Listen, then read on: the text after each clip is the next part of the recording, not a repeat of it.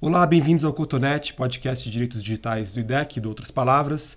Eu sou Rafael Zanata, líder do programa de direitos digitais do IDEC, e estarei com vocês, aqui levemente gripado, uhum. no programa especial sobre segurança e violência de gênero, primeiro programa após as eleições e a, a eleição do Jair Bolsonaro como presidente da República. Estou aqui com Juliana Oms. Diga oi. Oi, gente, tudo bem? Beleza. E no programa de hoje, né, além das, das tradicionais notícias da semana, Vamos falar sobre o caso da 99, empresa de tecnologia que implementou recentemente um sistema de câmeras e de identificação de comportamentos de risco dentro dos carros, argumentando é, com uma ação de prevenção de violência de gênero. E a partir desse caso, a gente chamou aqui a Natália Neres, que é uma pesquisadora do Internet Lab, autora de livros sobre questões de raça e de gênero, e a Marília Taufik, que é jornalista especialista em inovação e comunicação pública e idealizadora e coordenadora do aplicativo Penhas, que vai ser lançado em 2019 e que pretende usar a tecnologia como forma de defender as mulheres vítimas de violência. Então, durante esse programa, a gente vai estar nesse bate-papo o tempo todo com a Ju Holmes, é, no segundo bloco e no terceiro com a Nath Neres e a Marília Taufik, e deixar um recado para vocês que qualquer sugestão, dúvida, críticas, reclamações sobre a minha voz fanha e rouca hoje, podem ser enviadas para o nosso e-mail do podcast, que é cotonet, C-O-T-O-N-E-T, arroba idec.org.br. Então, o cotonete nosso é com o T mudo, é a brincadeirinha Sim. com a internet. E voltamos já já para o nosso giro cotonético, as nossas notícias da semana, com os comentários em profundidade da melhor equipe de direitos digitais aqui do, do Bexiga. Exato. Até mais. Cotonete, o podcast de direitos digitais do IDEC e do Outras Palavras. Bem-vindos ao Coto News, o nosso giro cotonético de notícia, destacando aqui as questões mais importantes de direitos digitais e de democracia, numa semana marcada pela transformação profunda do Brasil com as eleições de Jair Bolsonaro então, Juliana Olmos, a primeira notícia não poderia ser outra. Sim. Né? A primeira notícia é a eleição do Jair Bolsonaro, todos conhecem, mas é bom falar de novo. E ele já demonstrou a continuação dessa sua mudança de comunicação um pouco diferente dos outros presidentes. Quando ele foi eleito, ele, além da tradicional coletiva de imprensa, ele fez duas lives no Facebook, uma antes da coletiva e outra depois. E também já teve manifestação no Jornal Nacional em entrevista dele falando que a Folha tem que acabar. Falou que a Folha ia acabar por si é. própria e que era um jornal que estava desmerecido e que era fake news. Isso. É. O que a gente nota nesse caso, que é muito interessante para a discussão de direitos digitais, é essa utilização estratégica das redes sociais como fonte primária, como instrumento primário para se relacionar com os cidadãos. Né? Querendo Sim. quase que eliminar o jornalismo profissional como um intermediário qualificado né, de tradução do que um presidente fala para a população. É uma coisa que o Stephen Bannon, que era um consultor do, do Trump, assessorou o Trump muito bem a fazer isso, né, a utilizar o Twitter massivamente, uhum. a twittar coisas em caps lock, de forma agressiva, xingar muito Sim. no Twitter. É, e fazer as lives no Facebook, que também quebra totalmente a própria capacidade dos jornalistas de fazer perguntas, né? E de, e de coagir na coletiva de imprensa, que Sim. é uma prática democrática, né? O presidente faz a coletiva, abre para as perguntas e tem aquele face a face. E vai lá a Folha, Estadão e outros e questionam. E o Bolsonaro pula isso. E também escolhe plataformas, né? Então, se, tem uma outra questão que é, se tivesse um outro concorrente do Facebook e ele faz só no Facebook, né? O que, que isso impacta? Sim, é, ele consegue moldar o discurso dele muito mais, né? E ele tem mostrado essa relação com a imprensa, em tanto desqualificando em mídias tradicionais, é, ao mesmo tempo em que, como se só o discurso dele na, na plataforma dele fosse o real. E acho que a gente viu isso um pouco com o Trump fazendo, tanto restringindo o acesso ao, ao New York Times, Sim. às coletivas de imprensa. É, enfim, acho que a gente tem. Conversando com alguns jornalistas, a gente percebe essa postura que ele tem com a imprensa também, de ser agressivo, é, de restringir acesso algumas vezes também. Sim. E aí, enfim, é uma diferença monumental. Ele é muito habilidoso no uso do Twitter e das, das redes sociais, você tem que reconhecer. Sim. Uma diferença abissal com o Michel Temer, por exemplo. Que, é, com seus o, vídeos. O máximo que o Michel Temer conseguiu fazer foi: é, olha, Dora, eu vou aqui te contar aqui a nossa história. Né? E que foi o, a única coisa que rendeu uma certa visibilidade para o Temer no, no Twitter. Né?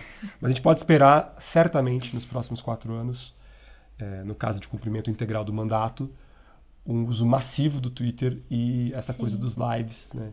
E o Bolsonaro usando as redes sociais e propondo projetos de lei, inclusive, talvez para blindar essas redes sociais. É bom lembrar que o Bolsonaro foi autor de um PL que dizia que o bloqueio do WhatsApp só poderia ser feito pelo Supremo Tribunal Federal, né? e essa, essa, esse projeto de lei foi lido por muitos especialistas como já uma tentativa dele ano passado de blindar qualquer possibilidade do WhatsApp sair do ar durante as eleições. Sim. É, ele criticou também a mudança do WhatsApp de diminuir a possibilidade de encaminhamento, né? A quantidade de pessoas que você consegue enviar. Porque faz parte da campanha, fez parte da campanha dele, né?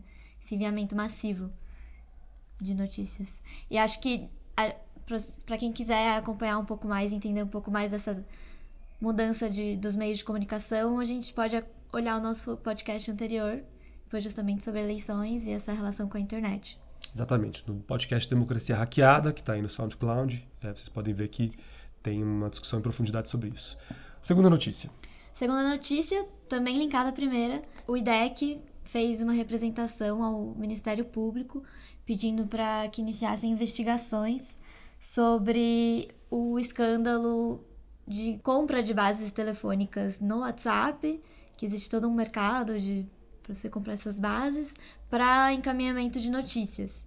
É, e a gente entrou com o Ministério Público para entender essa, esse lado do, dos dados pessoais que estão sendo coletados indevidamente, sem autorização dos usuários, que vão receber notícias políticas e eles nem sabem que eles estavam nos cadastros, um pouco para entender um pouco melhor isso. Uhum. É, e aí, no caso, isso é decorrente daquela divulgação da Patrícia Mello sobre os 12 milhões de reais que eram gastos por empresários para comprar serviços de estratégia digital, né, da Croc Services, SMS Marketing e outros. E também tem ligação com essas várias outras investigações que estão surgindo sobre como é que opera esse mercado. Né? Que mercado é esse de revender bases de dados, uhum. categorizar pessoas por tipo de preferência política e deixar pronto para mandar disparos automáticos no WhatsApp. O fato de a gente mandar para o MP é que o Ministério Público do Distrito Federal tem uma comissão especializada em proteção de dados pessoais. Né? É, mas a, até o momento não foi aberto o inquérito. Então, só foi feita a provocação para que o MP investigasse. Tem uma questão aí que é a Polícia Federal também está investigando a mesma uhum. coisa. Talvez o MP do, do, Distrito Federal não queira abrir o inquérito porque já tem uma outra investigação em curso. Uhum. E terceira notícia. A terceira notícia é a manifestação do CEO da Apple, o Tim Cook, que na sede do Parlamento Europeu, em Bruxelas, ele fez um discurso de uns 20 minutos, um pouco agressivo até, é, so, sobre as empresas do Vale do Silício. Ele se manifestou assim, abre aspas. Nossas informações do cotidiano ao mais pessoal estão sendo transformadas em armas. Isto é espionagem e este arsenal de dados pessoais apenas enriquecem as companhias que os coletam. É, afirmou que essas a indústria de tecnologia está se mostrando uma ameaça à privacidade e também à própria democracia. Sim, aqui claramente ele está dando um coice, uma voadora no Facebook, né, que se tornou alvo dos grandes casos de vazamento de dados. E acho que ele está aqui numa chave dupla. Né? Primeiro, ele está de forma coerente se alinhando com o discurso dos principais é, especialistas do que está sendo chamado nos Estados Unidos de weaponization of social networks, né, que é a armorização das redes sociais. Então, as redes sociais se transformaram mesmo em instrumento de guerra informacional. Uhum. O próprio Steve Bannon, em várias entrevistas para a BBC é, e para jornalistas brasileiros, fala que o Trump e ele utilizam mesmo isso como instrumento de guerra informacional, uhum. que nós estamos em guerra informacional contra o que ele chama de marxismo cultural ou de uma agenda de esquerda. E por outro lado, ele também estrategicamente fala lá em Bruxelas, que é a sede do Parlamento Europeu, é, e que é a comunidade europeia que aprovou a lei de dados pessoais, né, o regulamento em maio, o GDPR, para, de certo modo, agregar valor à empresa Apple Sim. e conquistar a confiança dos representantes políticos e dos consumidores para ganhar mercado no território europeu. Né? Talvez Mas- em competição com os chineses ou com as próprias empresas americanas. Sim, mas também não é como se a própria Apple não fizesse parte dessa indústria tecnológica que coleta dados pessoais, né? Eles têm aplicativos de saúde que estão já diretos no. Você vem da loja direto com o aplicativo de saúde instalado e que estão ali coletando dados sensíveis, muitas vezes com problemas de consentimento também. Exato. Já não tem muita separação radical, né? Do Sim. tipo, você só produz o hardware ou os computadores, né? Eles investem massivamente nessa economia de serviços, que é baseada em dados. É, talvez o coice que ele queira dar aqui é no fato de que a Apple não tem uma rede social, né? Por assim dizer. Aí o ataque é mais frontal ao, Sim. ao Facebook. Mas eles têm instrumentos massivos de coleta de dados. O próprio iPhone é um dispositivo, é um aparato de coleta de dados massivo, né? Ele pega tudo. né? Do jeito que você virou o celular, onde você está, as aplicações que você usa, etc. Talvez a Apple tenha tentado agora construir é, uma certa imagem de quem, de quem são eles enquanto defensores dos dados pessoais e da privacidade. É bom lembrar que a Apple também comprou uma briga com o FBI no caso de San Bernardino, que era um caso em que você tinha um- um- um homem suspeito de um ato criminoso, de um ato terrorista. O FBI queria acessar as informações que estavam no celular. O celular iPhone dele estava criptografado e a Apple se recusou a oferecer suporte tecnológico para quebrar a criptografia ou para promover o acesso ao aparelho. né? Foi parar, inclusive, na, na Suprema Corte. E isso ajudou, de certo modo, a Apple a construir uma imagem de que ela vai se posicionar em defesa das liberdades civis e desses direitos. Isso é importante, mas também tem um aspecto mercadológico, né? Da Apple querer ganhar esse terreno.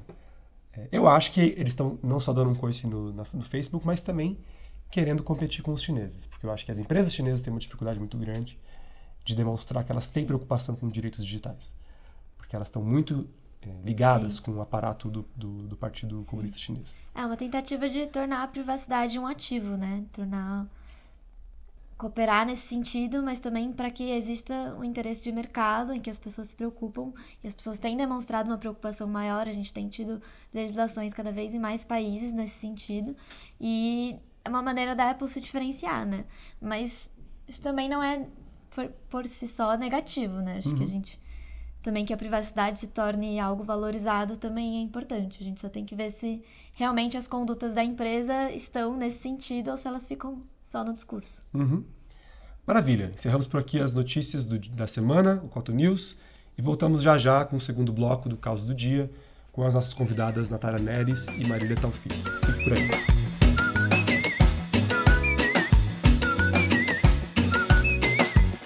Começando o nosso caos do dia, vamos falar de um caso de segurança e violência de gênero em aplicativos de corridas, que é o caso da 99, empresa de tecnologia de São Paulo, que tem controle acionário chinês hoje e que trouxe uma inovação bastante significativa há algumas semanas, que é a instalação de câmeras de alta resolução em formato de olho de peixe dentro dos carros, que vai ser capaz de reconhecer os movimentos das pessoas dentro de uma corrida e prever comportamentos de risco, permitindo então que sejam tomadas medidas cabíveis imediatamente pela empresa e identificar possíveis infratores. Sob justificativa de ampliar a segurança e especialmente a segurança das mulheres.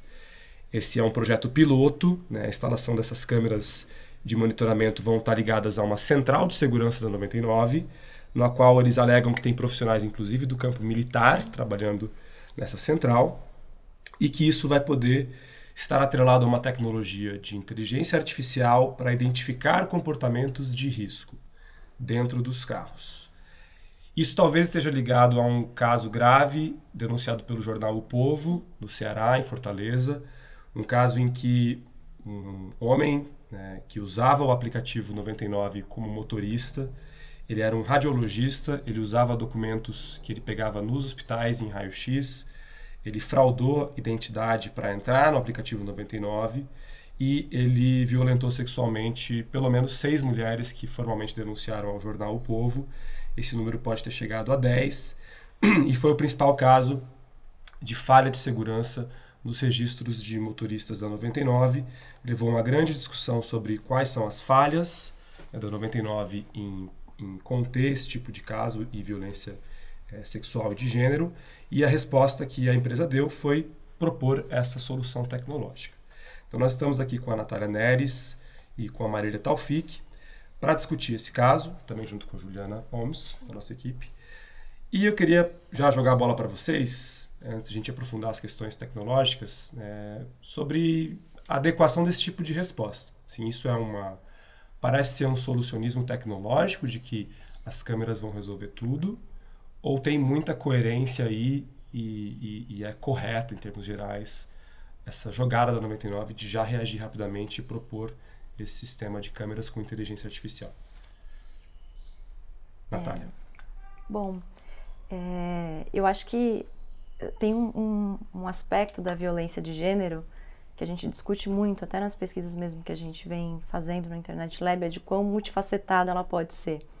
Né? E, e eu acho que a solução da câmera, ela vai, ela se, se propõe a resolver um, um problema que é dessa violência que pode ser física, né?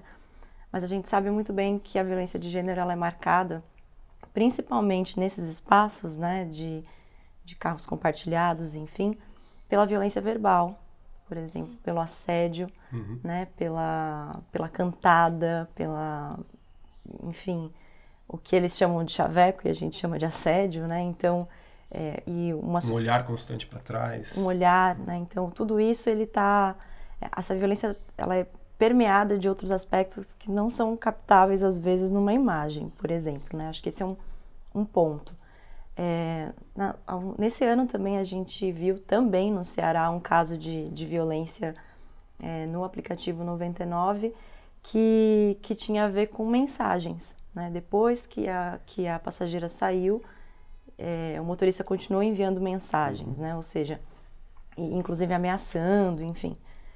É, é, um outro tipo de violência de gênero né? que pode acontecer em, em, em aplicativos de, de, de carona. Né? Então, uma violência verbal, uma violência que se dá depois de uma corrida, por, por mensagens, enfim. Então, é, essa solução me parece mirar em um tipo de violência muito específico que também a gente precisa tentar pensar um pouco se ela é a mais frequente, né? Se ela, se ela não é o caso mais extremo de violência de gênero que pode acontecer. Então, é, acho que esse é um, acho que é um primeiro ponto, né? De, bom, se a empresa está coloca, tá colocando essa solução como algo que vai minimizar a violência de gênero, ela minimiza um tipo de violência, né? É, e de, dentro de uma diversidade é, de possibilidades em que ela pode aparecer, né? Não só com mulheres, mas acho que com a população LGBT também, enfim. Acho que esse é um, um primeiro ponto que eu, que eu traria para a discussão. Uhum. Em muitos países, né, especialmente Índia, nessa discussão de como regular aos aplicativos de transporte, é, o próprio governo propôs uma obrigação de criar um botão de pânico uhum. né, para as mulheres. E aí, Marília, você acha que isso, o botão de pânico, assim, essa coisa de deixar na, na mão da mulher ou da pessoa que está sofrendo a violência reportar, é, isso é mais adequado do que ter uma câmera, uma espécie de tutela preventiva ali, ou é, os, os, dois funcionam, os dois não funcionam? O que é a sua visão sobre então, é, na verdade, são duas ferramentas. Tratando-se de violência contra a mulher, como a Natália falou, são vários os tipos de violência e a gente precisa de várias ferramentas para poder atacar. É, a resposta da 99, inclusive, sobre o caso dos dois estupros, é, eles explicaram todo o apoio que eles estavam dando para a mulher e, e na investigação, mas eles simplesmente lamentavam o ocorrido.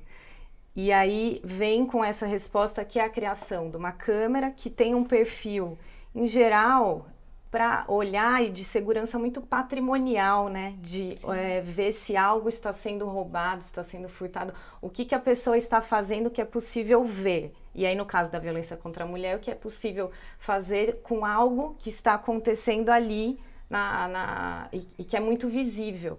Mas acontece que a violência de gênero, ela, por existirem muitos tipos de violência, a violência muitas vezes ela é invisível é, e a câmera que eles inclusive falaram que colocaram ali também não capta som. Então, o não captar som também é algo que uh, impede, por exemplo, de você identificar a cantada. Agora, dá a possibilidade da mulher é, chamar e apertar um botão de pânico, que é algo que no Uber já tem, né, que faz a ligação para o 190. É, 99 recentemente anunciou que também faria isso. É, mas também é uma ferramenta para ser utilizada no momento em que a mulher está precisando ou no caso da câmera de identificar que houve um crime ali e no caso do botão de pânico para ela pedir ajuda naquele momento. Mas o que, que se faz para prevenir?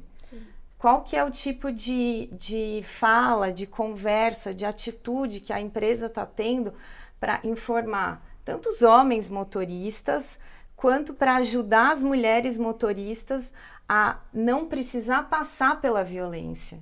Esse é o ponto. As mulheres é, é, violência contra a mulher não é caso de polícia. Violência contra a mulher é caso de educação, de, em vários termos, de saúde pública, de, de acesso ao direito à dignidade. E que só com uma, um botão de pânico e só com uma câmera são ferramentas que podem ser bem utilizadas, mas só com isso não se combate a violência contra a mulher. Sim. Posso fazer uhum. um comentário sobre a questão do, da prevenção, né? Acho que é, eu fiquei pesquisando muito, olhando para os diferentes aplicativos para tentar entender se há treinamentos específicos para para prevenção do assédio, para a questão da violência de gênero. E algo que me chamou muito a atenção é de como essas ações são pontuais em março. Né? Então, é, é encontrei notícias como aplicativos de, de carona assumem a bandeira, a bandeira a bandeira da, da violência de gênero, né? É, isso não pode ser uma bandeira, isso não pode ser uma ação. E a gente, enquanto pesquisador que trabalha com o tema, a gente é muito solicitado. Em março, para discutir questões de gênero nessa, com essas empresas, e em novembro, para discutir questão racial, né? Então, enquanto isso não for, enquanto essa for uma pauta, é, quase que pode ser mercantilizada, né? Porque aí você diz que você está preocupado com as mulheres, né? mas está preocupado com as mulheres no, no, em março, né? enquanto em abril, maio, junho, julho, é, novas pessoas vão entrando na plataforma para trabalhar ou para prestar serviços e, e, essas ações são muito pontuais, é, eu vejo aí também um, um, problema, né? que é quase de nós nos preocupamos com a questão é, uma vez por ano, né? e aí se oferece treinamento, se faz palestras, se faz é, campanhas, cupons de desconto. É, encontrei coisas do tipo doações para organizações feministas em, em, no mês de março, né? então cada corrida um real vai para uma organização feminista.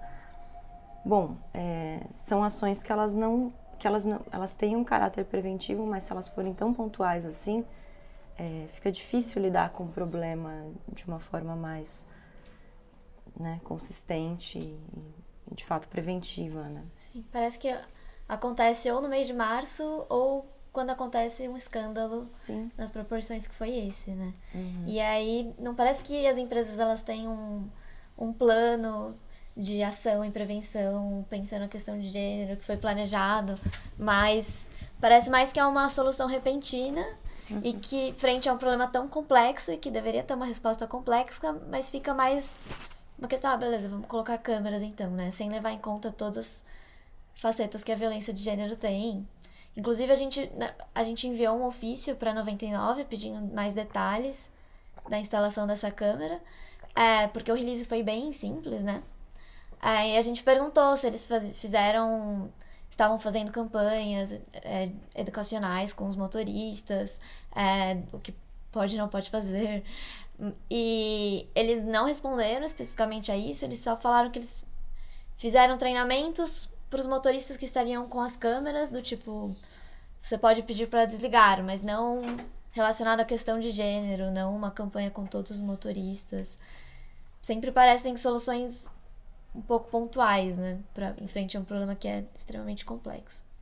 No caso desses aplicativos e desses novos mercados de intermediação, Vocês não acham que tem um problema estrutural do próprio modelo de negócio deles, que é eles se portam como plataforma e dizem, olha, as pessoas que estão prestando esses serviços, que são também meus consumidores, não estão sob minha responsabilidade. Eles são eh, empreendedores parceiros. O motorista está empreendendo ao dirigir. Então fica essa coisa do tipo, eu não tenho que me responsabilizar, eu não sou empregador, eu não tenho que construir uma cultura né, no ambiente de trabalho, porque isso aqui não é relação de trabalho. Né? E isso, na visão de você, está conectado com essa, esse problema desse...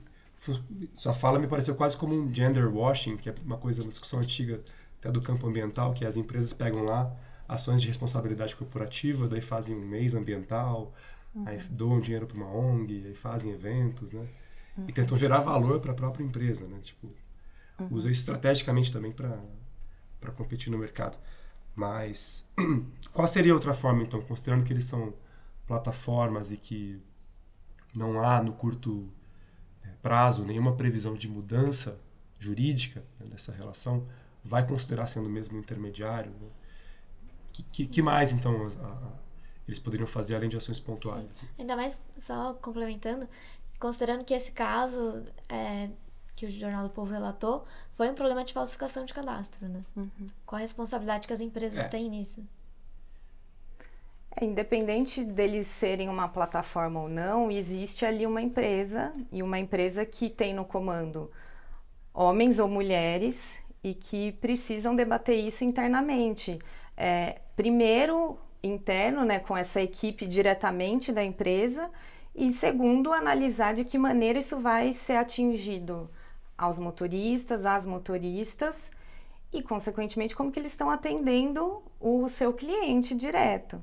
É, não adianta a gente falar sobre isso e eles darem respostas desse tipo se a gente está consumindo algo e eles estão recebendo um dinheiro por isso, uhum. né? Por mais que sejam parceiros, como que é esse diálogo? E a empresa está inserida numa sociedade, está, inserida no Brasil, que existe uma Constituição, e ela também tem que, que fala sobre direitos iguais, que fala sobre é, a dignidade, que fala sobre a individualidade, e como que isso, então, como que eles vão, a partir desse, uh, desse, de todos esses direitos, a partir de todo esse marco legal, eles também vão prover um melhor serviço. A verdade é que o fato de não existirem, muitas vezes no debate de gênero, o fato de não existirem mulheres também no comando faz com que também não tenha esse olhar. Uhum. Então, precisa também uh, terem essas pessoas nesses postos para falar, para falar o que é a violência de gênero em todos os seus moldes. Né? Uh, então, assim, o próprio o fato, por exemplo, deles uhum. terem na equipe de, de segurança ex-militares uh, ou diversos outros, é, é, uma equipe multidisciplinar, é, é, é ótimo, mas o, o fato de, de ter ex-militar não é um problema. Se a gente tivesse, por exemplo, uma como é a PM a Denise Santiago, que é uma que é uma PM a major, que criou um projeto Ronda Maria da Penha, que é um símbolo de combate à violência contra a mulher no Brasil, é uma militar e tiveram uma pessoa dessa na equipe, que incrível. Uhum. Então, o fato é, precisamos falar sobre isso, independente de que forma que seja e com quem seja. Uhum. Acho que outras alternativas, tendo em vista o que já existe, o que já tem e como elas estão estruturadas e organizadas, é uma maior publicidade dos mecanismos já existentes, como o compartilhamento de rota, para a gente é muito importante enquanto uhum. mulheres. É, poucas mulheres sabem disso, né? De que elas podem, em tempo real, dizer: olha, eu acabei de pegar e compartilhar onde estão.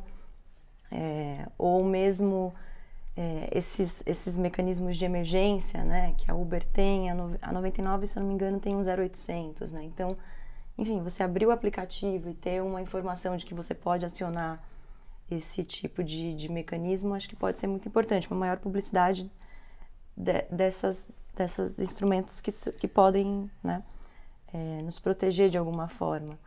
É, acho que uma outra, uma outra coisa que, que também fiquei pensando, é, refletindo sobre esse tema, é dos, das mulheres, né? Das mulheres que são motoristas, né? É, a gente tinha no 99 opcional, né? Escolher se, se, você quer um carro adaptado, se você quer uma motorista mulher, que não há mais. Né? Desde fevereiro eles anunciaram que é, esse mecanismo não, não existe mais na, na, plataforma e também só existia no Rio e São Paulo, né? Então é... Mas tem empresas como Lady Driver que são competidores. Né? São que, competidores que focam, que focam, nisso. Mas se essas empresas também quisessem lidar é, com essa questão, elas poderiam voltar a colocar o opcional é, de, de, mulheres motoristas, né? É, tem no, no, no, Reino Unido, se não me engano, a opção de nos compartilhados, né? No, como se fosse Uber Pool, você escolher com quem você vai compartilhar, né? Você pode optar por gênero, por exemplo. Então, principalmente para Ubers compartilhados e, e para corridas compartilhadas, é, à noite esse pode ser um mecanismo é, interessante para mulheres, para LGBTs, enfim, há acho que, que medidas que podem ser tomadas não eu não encontrei explicação, por exemplo, de por não existir mais opcional de escolha por por mulheres, né? E eu tenho a minha hipótese, né, olhando para a notícia, bom, só existia no Rio e em São Paulo, e não existe mais. Será que isso foi lucrativo, né? Eu acho que também será que se pensou só em termos econômicos na manutenção ou não desse tipo de eh, de opcional? Então acho que levanta questões aí também. Se de fato a preocupação é, é são as questões de gênero ou viabilidade é, financeira, outras questões, enfim. Uhum. Queria perguntar para vocês é, esse ponto específico da análise preditiva da inteligência artificial, né, que parece ser, inclusive, uma oportunidade para os chineses, que são os controladores e os desenvolvedores dessa tecnologia, de testar algo no mercado doméstico, assim, no mercado controlado. Então, São Paulo poderia ser quase como um laboratório para testar a própria efetividade desse software de análise preditiva que vai cruzar numa base de dados e vai construir variáveis do que, que seriam comportamentos de risco. Né? É, isso para vocês, como é que vocês pensam essa essa tendência, primeiro, né, que é puxada por grandes empresas de tecnologia, no caso a DigiQuid, que é a controladora aqui da, da 99, mas a gente provavelmente vai ver isso em outras grandes empresas também. É, e se isso é, implicaria também numa, numa escolha, num trade-off, porque ao aceitar estar no ambiente de controle de análise preditiva, você está também autorizando processos muito invasivos de filmagem, de registro, etc. É, num problema adicional que é esses servidores, né, os quais ficam registrados essas imagens, ou todo esse registro de dados pessoais, estando num servidor chinês, que não tem uma lei de dados pessoais aprovada, que não tem uma cultura também de dar o controle dos fluxos de dados para as pessoas, que é uma um conceito muito ocidental, né, por assim dizer. É, como é que fica esse dilema? Assim, a gente está entrando num, numa aceitação de muitas grandes empresas chinesas de tecnologia operando no mercado, talvez seja uma oportunidade deles usarem estrategicamente um argumento de segurança para implementar isso, e é um processo massivo de coleta de dados. Então, é, seria melhor, por exemplo, ter avançar isso, mas ter esses, essas, esses servidores no Brasil, aplicando a lei de dados pessoais, dá para equilibrar, por exemplo, privacidade com análise preditiva e, e, segurança? Eu sei que a pergunta é super difícil, mas, mas eu queria que só se comentasse essa tendência, assim. Eu acho que é bem, assim, tem uma parte que é um futuro meio que sem volta, né? Tem coisas que hoje a gente está conseguindo escolher e está conseguindo e conseguiu criar é, um, uma lei de dados que é importante. O mundo está vendo isso evoluindo de uma forma mais reguladora e isso é bom. Uh, mas, assim, hoje, se a gente fosse olhar a partir da experiência das, dessas empresas mesmo, se elas não estão tendo atitudes de segurança é, de outras formas, no caso da violência de gênero, por exemplo, que é ter uma, uma especialização, ter uma equipe que olhe para isso, terem ferramentas, como a própria Natália falou, a ferramenta da, da escolha por mulheres. Por que, que isso foi tirado? Então, assim, são vários instrumentos que podem ser criados e que a sociedade já diz, a experiência já diz que poderiam ter sido feitos e não foi. E agora vai ser é dessa forma? Essa é a única estratégia possível? Por que, que não foi feito algo antes? Então, para mim, o discurso de segurança não cola. É... Mas, enfim, é bem difícil analisar mesmo, uhum. profundamente. É, eu acho que é, é, concordo muito com você e acho que, é, em geral, essas medidas né, que, que, que tem o condão de vigilância, elas vêm sempre muito é, justificadas com, com, com a pauta de segurança, pânicos morais, né? Então, acho que, acho que o estado que a gente tem que ficar é de alerta em relação a isso, concordando muito com você de que, bom, tem um leque de opções e de alternativas é, que não são analógicas exatamente. Tudo aqui, todas as coisas que a gente falou são, são de tecnologia Sim. também, de alguma forma. Então, acho que manter, se manter atento em relação a de toda vez a justificativa seja segurança, evitar crimes, né, esse discurso. E, e, e, e, para nós, assim, refletindo também sobre esse assunto, bom, é, poderia não ser ruim, tá? Ter uma film, ser filmado. Assim, na, na, a gente também uhum. aceita, né? A gente também tem uma, bom, isso é ok. Acho que sim. Eu me sentiria mais segura num carro que tem uma câmera. Então tem esses dois lados, né? Da, é, da, da questão que o discurso vem para te proteger e de fato eu me sinto me sinto mais segura enquanto grupo vulnerável, né? Então acho que exige uma reflexão sobre esses aspectos que você coloca, né? Que eu não conseguiria.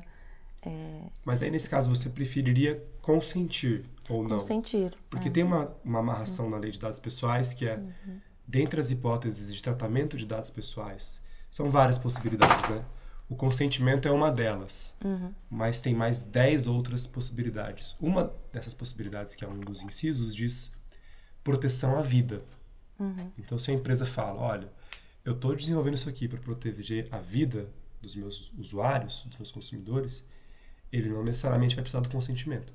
Uhum. Tanto é que a nossa hipótese é que, muito provavelmente, é, a 99 outras empresas vão se posicionar em termos jurídicos dizendo eu estou cumprindo a lei de dados porque eu estou fazendo uma ação proteção de proteção à vida. Uhum. É, daí já era um debate interessante que talvez para muitas pessoas as pessoas teriam o desejo de consentir, não sei, gera quase que uma, uma, um debate maior sobre essa coisa da tutela, né? Uhum. Assim, quem que está te protegendo e se você tem que saber disso ou não. Tem um, ele... tem um elemento aí que é o, a questão da privacidade. Aquele... Você estar naquele carro num momento... Uh, independente de com quem seja, onde seja, mas é um momento que também pode ser um momento privado e você está fazendo algo que você não quer que as pessoas saibam que você está fazendo. Então, e mesmo no caso do própria questão do assédio, é, tem muitas mulheres que elas não querem reviver aquele momento, não querem que aquele, não querem que aquele momento seja exposto. Então, como quem vai assistir aquilo? Uh, quantas pessoas, quem vai analisar, uhum. é, por mais que isso não seja vazado, mas e o medo disso ser vazado? Então, essa questão da privacidade também, ela é algo que preocupa Sim. muito e que também precisa ser muito analisado, né? Sim, acho que esse ponto é muito sensível. Uhum. Uma coisa que me chamou a atenção na fala de vocês é que tá meio fora do debate nacional, parece, é quem que toma as decisões dessa implementação de solução tecnológica, né? Uhum. Eu, pelo menos, não vi nada de explicação por parte da 99 de que dentro desse grupo multidisciplinar estão muitas mulheres, uhum. né?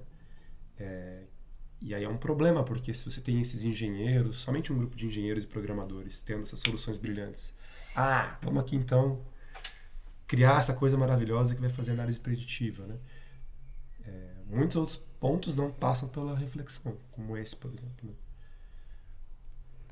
Tem é, uma coisa que eu acho que é muito bonita no feminismo, que ele ensina, é você olhar para a experiência de mulheres e teorizar experiências pessoais e teorizar a partir daí. uhum. é, e você criar soluções a partir disso. Então, por isso que a gente falou muito, ouvir as motoristas, ouvir as passageiras, ter essas mulheres, tantas outras, dentro da equipe efetivamente. E a partir dessas experiências, você conseguir criar soluções. É, esse é o ponto. Existindo uhum. respostas como essa para a gente, a confiança nesse caso vai ser muito maior. Vocês têm conhecimento se isso é uma se tem uma vontade dessas empresas de tecnologia. Eu sei que assim, eu conheço só de pessoas que foram trabalhar na Uber, pessoas que foram trabalhar na 99, é, mas eu vejo muito mais igualdade nos cargos de policy, de uhum. representação, né? uhum. mas não nos cargos de, de, por exemplo, construir essa central de segurança é, ou, ou, ou, de programação. Né? Daí a gente cai num problema estrutural maior, né? Que, que é essa coisa que as mulheres estavam na liderança da tecnologia da programação antes foram empurradas para fora, se construiu um ambiente machista na, na ciência da computação. Né? Uhum. E agora a gente está nesse processo de, de luta de novo. É, parece que antes era uma coisa mais outsider, vira esfera de poder, então as mulheres são excluídas. Né? Sim. Beleza, vamos, vamos encerrar o nosso bloco do caos uhum. e voltamos já já para o nosso bloco final de resistências para vocês falarem um pouquinho da trajetória de vocês, do que vocês estão fazendo e incentivar as pessoas a não desanimarem num cenário de Bolsonaro. Tá bom? Até mais. Valeu.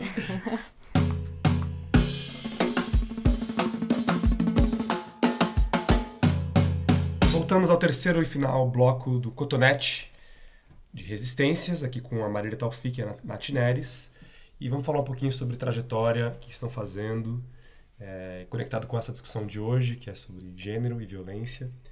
Pode ser tanto projeto de pesquisa quanto ativismo, mas eu queria que você explicasse, começando pela Nath, um pouquinho de trajetória, assim, como é que foi sua trajetória pessoal de chegar no campo, assim, e de fazer parte dele e se tornar uma pessoa que está atuando em rede e colaborando muito nessa agenda. É, bom, eu tenho uma, uma formação e, e, uma trajetória que é bastante acadêmica, né, e, e que muito ligada à pesquisa. E eu sempre trabalhei bastante com questões raciais e questões de gênero, né? Acho que uhum. fiz as primeiras pesquisinhas de iniciação até... Uhum. E, e assim fui caminhando. É, o campo né, de direitos digitais ou de política de internet é recente na minha trajetória, que é, que é curta ainda, né? Por ser uma pesquisadora jovem. É, mas tem quatro anos e tem muito a ver com a entrada no Internet Lab, né? é, que é um centro de pesquisa independente aqui em São Paulo, que trabalha diretamente com o tema. É, e eu comecei a trabalhar é, no, no, Internet Lab, muito sincera em dizer, né? Bom, eu conheço muito pouco do, do campo ainda de política de internet e direitos digitais, é, e eles estavam com interesse em trabalhar com, violen com violência online, com violência de gênero, uhum. mas eu tenho já um, alguma experiência com pesquisa sobre aplicação da Lei Maria da Penha, aplicação da legislação antirracista. Então, foi um pouco me propor a, a conhecer um, um, novo campo, né? E, então, é, acho que a minha entrada tem a ver com, com, com essa já com, com essa trajetória, com, com esses temas é, de desigualdades. E aí é, eu passei a atuar no, no centro é, bastante ligada a, essa a essa primeira pesquisa que a gente é, fez sobre violência de gênero online, mais especificamente aquele fenômeno conhecido como pornografia de vingança, o revenge porn. Né? Então, é, nós trabalhamos dois anos tentando entender um pouco o fenômeno, é, tendo em vista é, essa, essas respostas automáticas também que se tem para determinados problemas, né? Então a gente teve casos em 2003, 2013, 2014 de suicídios, né? Uhum. É, e bom, a alternativa que a gente tem é criminalizar a conduta de pornografia de vingança. E a pesquisa começou exatamente com o intuito de entender, bom, é, essa e os casos que aconteceram até aqui, como o judiciário lidou com eles, né? E essa de fato é a melhor alternativa, né?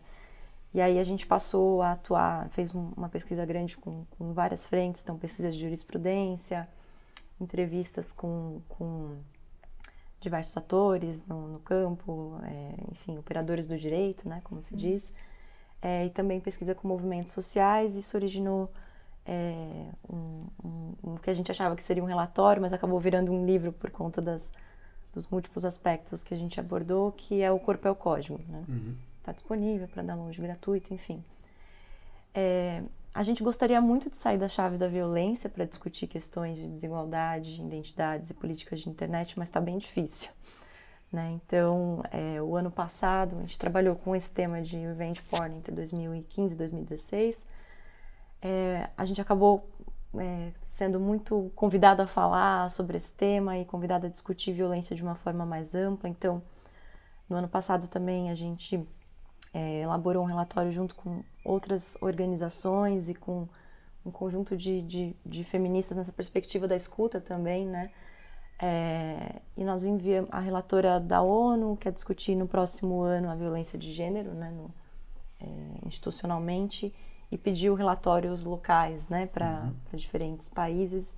E nós fomos responsáveis pelo do Brasil. Então esse relatório, na verdade, a gente não queria que ele fosse só esse esse instrumento para subsidiar essa discussão é, fora, mas é um relatório que tem então um, uma, uma tipologia de casos de violência de gênero como o judiciário brasileiro tem respondido a esses casos e alguma é, perspectiva de recomendações também, né? Então, o que, que setor privado, o que, que Estado, o que sociedade civil estão fazendo ou podem fazer em relação a isso a partir da escuta desses diferentes, dessas diferentes atrizes, né? Não teve ator uhum. nessas discussões. E é, ainda nesse, nesse campo de discussão de, de, de gênero, ou de violência de gênero, ou de violência online. É, na eleição de 2014, a gente é, mapeou um pouco os casos que aconteciam na internet que tivessem qualquer relação com questões raciais, questões indígenas, questões é, de gênero. O que a gente percebeu também foi uma incidência é, grande de violências entre candidatos, contra candidatas, é, entre eleitores que, que, tem, que tinham essa perspectiva é, de marcadores de identidade. E é um projeto que se chama Outras Vozes, né, que é quase de reportar né, é, esses casos. Nós é, repetimos esse ano também, de 2018, mas com um nível de dificuldade muito maior do que 2014, porque os casos de violência esse ano foram é, bastante é, frequentes, né? Tanto que foi desenvolvida até uma plataforma por outras organizações como é, Coding me representa, que é o Treta Aqui, né, que, uhum. que tentou mapear é, todos esses tipos de casos de violência online. E o nosso, é, nossos próximos passos é olhar para esse material que foi é, coletado por diferentes organizações e, e, tentar entender também o que foi um pouco é, esse contexto. Continuaremos, apesar é, de, de, tudo, tentando discutir outros temas, é, pensar também. A gente fez uma discussão sobre ativismos, fez uma discussão sobre o uso de internet por empregadas domésticas no ano passado, uma pesquisa quantitativa também, para mapear um pouco é, de acesso e limitações de uso, enfim. Então, acho que esse é um pouco é, o que a gente tem, tem trabalhado nesse, nesse momento na área de desigualdades e identidades. Uhum. Marília, sua trajetória está no jornalismo e também empreendendo nessa área com soluções tecnológicas. Explica pra gente. Sim, é, eu sou jornalista, já tem um pouquinho mais de 10 anos que eu trabalho principalmente em organizações públicas e muito com, é, de uns anos para cá, muito diretamente relacionado à tecnologia, a redes sociais. Então, estudando muito de que forma a tecnologia pode aproximar cidadãos, órgãos públicos e, e solucionar grandes problemas que a gente tem na sociedade. É, e eu, na minha passagem pelo Ministério Público de São Paulo, eu, foi um lugar que eu tive muito contato com a violência contra a mulher, uhum. fazendo muitas reportagens também, entendendo muito. E foi interessante que durante a, a, leitura e o entendimento da própria Lei Maria da Penha, eu também vi as várias violências que eu já sofri e que eu nunca nunca soube, né? Ou que eu normalizava, achava que aquilo era comum. Aquilo mexeu muito comigo e, e, exatamente por entender que violência contra a mulher não era caso de polícia e pensando de que forma que a gente pode aprimorar esse atendimento a essas mulheres e de alguma forma tentar diminuir esses casos. Eu fui falar com a revista Asmina, que é uma revista feminista e que usa informação e, e, e, projetos de educação como forma também de combater a violência contra a mulher nas, nas suas várias formas, não só a violência doméstica. É, e, e, apresentei o que, que era há dois anos atrás uma ideia simplesmente do uhum. Penhas, do que hoje é o Penhas, é, que é um aplicativo para por meio da conscientização, da informação e de uma criação de uma rede de apoio, poder enfrentar a violência contra a mulher. Uh, então, o Penhas ele é um aplicativo que está para ser lançado em 2019. A gente já está finalizando.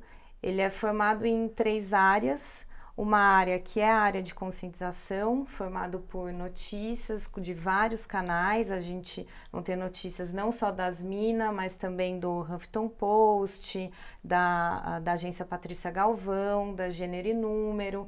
Todas essas notícias vão estar tá lá para poder com que as mulheres que entrarem, tanto aquelas que sofrem violência ou aquelas que querem ajudar mulheres em situação de violência possam entender o que, que é aquela situação e o que pode ser feito. Essa área, além disso, vai contar também com um mapa das delegacias, de, de delegacias da mulher de todo o Brasil, que a gente tirou como fonte, é uma reportagem é, da revista Asmina. Uh, e, e, e, as mulheres vão poder traçar a rota entre o local que ela está até a delegacia mais próxima. E a gente também fez uma parceria com o mapa do acolhimento, que é um mapa de, que identifica é, mulheres em situação de violência que, e, e, e, psicólogas e faz o contato entre elas. E o mapa do acolhimento tem também toda a rede de apoio para as mulheres. Então, a, a, rede de saúde, de assistência social, é, as casas de acolhimento. Então, a, a, mulher também vai poder traçar a rota e avaliar como que está sendo o atendimento nesses locais. Essa área, é a área de conscientização, é o Empodera Penha. É, além disso, o aplicativo também vai ter um chat secreto, que é como um, um WhatsApp, que as mulheres vão poder conversar é, as mulheres que entrarem e se cadastrarem como estando em situação de violência, elas ficam sempre anônimas dentro do aplicativo e as outras mulheres vão poder é, é, vão estar lá para conversar com, com elas e vão uhum. também poder conversar com mulheres que não estão em situação de violência. E aí sempre a, a mulher que, que se diz em situação de violência, que está anônima, ela vai fazer uma escolha com base nas informações que as outras estão colocando lá, como se fosse um, um Tinder, uhum. praticamente. E, e aquele, aquela área é um chat seguro é, e é a ideia da formação da rede de apoio. Essa área é o Defende Penha. E por último, é a área de pedido de ajuda e denúncia, que é o Grita Penha, que vai contar também com um botão de pânico, que a princípio vai é, ao clicar, ela vai, vai discar um 90, como os, muitos aplicativos já fazem, né? Uhum. Uh, mas ela poder, vai poder também cadastrar é, até cinco pessoas que são as suas guardiãs de extrema confiança. Não são pessoas que precisam estar cadastradas é, necessariamente do, no aplicativo. Ela vai fazer o cadastro por meio do telefone dessas pessoas. O aplicativo envia uma mensagem perguntando se essa pessoa realmente quer participar, explica qual que é o funcionamento do app. E quando essa mulher tiver realmente, a partir do momento que ela aceitar estar naquela rede e ela tiver precisando de ajuda, ela vai poder contatar essas cinco pessoas ou menos, né? É, a gente se baseou num aplicativo que de fora, se eu não me engano, é dos Estados Unidos, eu não me lembro agora o país que foi criado, mas é, é o Circle of Five, e, em que as pessoas cadastram, mas para diversos tipos de violência, né? Não é só para violência de gênero, não é só para mulheres. Uhum. Uh, mas a ideia é também ali ter a, a, a sua rede. Uhum. E além disso, ela também vai poder uh, gravar. É, tem um botão de áudio em que ela vai poder ativar a gravação no momento que ela estiver sofrendo violência, porque a gente sabe que um dos maiores problemas que a mulher tem é de conseguir provar é, que ela foi agredida. É, só se prova hoje em dia se você tem alguma marca no corpo. Então, é uma forma também de ter uma prova a mais. É, então, o Penhas ele é formado por esses três pilares. Ele está se baseado muito numa, numa união social, né, para que não só mulheres em situação de violência utilizem. Uhum. E ele foi criado por nós das Minas, mas a gente diz que ele é, na verdade, um aplicativo criado pela Marília, Natália, Carolinas, é, Jéssica, enfim, várias mulheres, porque a gente, durante o processo de produção, a gente passou por essa experiência também de ouvir várias mulheres. Uhum. A, a, gente fez algumas rodas de conversa para entender, é, não só em São Paulo, né, na periferia também, não só no centro de São Paulo, mas na, peri na periferia de São Paulo, ouvir é, por que, que, se elas têm consciência da violência que elas sofrem, o que, que elas fazem ou fizeram, é, se elas confiam na polícia, se elas confiam nos órgãos de justiça, quais são as outras formas para a gente conseguir combater esse problema que é tão grave no mundo, mas no Brasil ainda maior, né? Que é o quinto país no mundo que mais mata mulheres. A gente tem mais de 500 mil estupros por ano. Então, de alguma forma, a gente precisa agir e a gente sabe que se não for pelos meios oficiais, existem muitos trabalhos incríveis fe sendo feitos pelos meios oficiais, mas não, não é o bastante. Então, a gente precisa diminuir esses números. E, e é isso. Legal, muito uhum. bom. Bom, para fechar com uma, uma discussão mais de resistência e de, e de esperança, se tiver pessoas ouvindo o nosso podcast que estão com medo ou que estão muito preocupadas com o governo Bolsonaro, com esses novos casos de memes de violência que estão viralizando entre universidades. É, que, que, recado vocês passariam assim olhando por esse horizonte dos desafios que a gente vai enfrentar nos próximos anos e de, assim, de, de fortalecimento de redes de como é que vocês enxergam esse lado mais positivo de resistências e por onde operar? Bom, é, eu acho que, que a visibilidade dessa, dessa violência, né, dessa, dessa circulação de memes com ameaças de violência contra mulheres, contra negros, contra LGBTs, está é, tá diretamente ligado também ao quanto a gente avançou é, e o quanto as nossas vozes são mais audíveis do que há algum tempo atrás. Né? Então, é uma resposta, né? uma reação. É, se é uma reação, né? A, se é um incômodo, se é se tem a ver exatamente com essa com essa visibilidade que nós temos alcançado, com com essa articulação de criação de aplicativos, de rodas de conversa, de discussões sobre é, violência. Eu acho que por mais difícil que seja o contexto, a gente não, não deve parar, né? A gente deve continuar é, com pensando, refletindo criticamente, como nós fazemos no campo da pesquisa, criando, como vocês estão fazendo enquanto ativistas, jornalistas, enfim. É, e, e, e, trabalhando em rede, né? Acho que foi muito legal te conhecer e saber do teu trabalho e a gente começar a pensar juntas, porque eu acho que tem muita coisa acontecendo na sociedade civil, é, muitas iniciativas e a gente precisa se conhecer e trocar e, e conversar. Acho que esse é um é o caminho de, de seguir se fortalecendo também, não, não tocar coisas sozinhas, não fazer coisas sozinhas, porque é, infelizmente quando a gente vê essa, essa articulação é, e essas ameaças todas, a gente sabe que eles estão extremamente coordenados, eles estão extremamente organizados. Essa é uma lição que a gente precisa aprender com, uhum. com o campo que é violento e que, que se volta contra nós. Acho que esse é um, um ponto. É, as pessoas, elas. É, é, esse é um momento que precisa tomar cuidado. Né? Tem que ser feito. O, o, ativismo ele tem que continuar acontecendo, mas às vezes é, tem como a gente é, fazer algo aparentemente no silêncio. Né? O, o voto, inclusive, ele é um exemplo de fazer algo silenciosamente.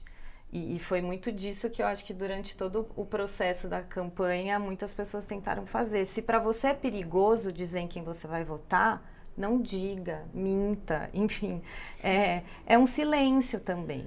E, e, a gente estratégico e a gente precisa criar essas novas formas de união que esses últimos esse último mês mostrou também para gente o quanto que isso foi importante o quanto existem pessoas que são parceiras e que às vezes a gente não sabe o que está fazendo é, e, e, e, os próximos passos a gente vai traçar agora né? Tem acho que semana passada foi eu vi um um TED de, de uma americana que ela tem origem muçulmana e ela desde 11 de setembro ela é, ela é advogada, ativista e ela luta para mostrar os direitos né, dos, dos muçulmanos nos Estados Unidos e para combater todas as formas de ameaça, violência, mortes. Uhum. E, e ela fala sobre as três formas de amor revolucionário. E, e uma das coisas que ela fala muito é sobre essa união e aprender, inclusive, a entender o, o seu opressor, para de que forma você vai construir um diálogo ali. E, e ela termina até falando, é uma mensagem de esperança, e pode ser um pouco piegas, mas acho que vale para o momento.